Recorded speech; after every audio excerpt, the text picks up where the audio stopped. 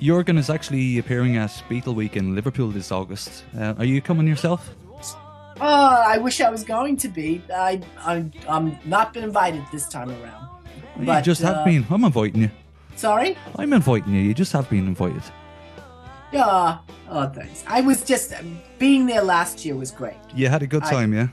Had a fabulous time. I believe you Had saw f- um, a fr- friend of mine, Steffi Lennon from Argentina. Uh, she's a Yes. great admirer of yours. Yes, yes. Uh, she's she was sweet and she was great. She's she was asking. It's very difficult. She wanted to know uh, a female impersonating John. It's it's very difficult, and yet at the same time, she's got to spend some time here to to pound the pavement. You know, Yeah, it's what find. But she's good. I like her. Great. I'm sure. Well, she's listening in today, and uh, I'm sure she'll be delighted. Uh, do Hello, you have? Steffi. Sorry. Hello, Steffi.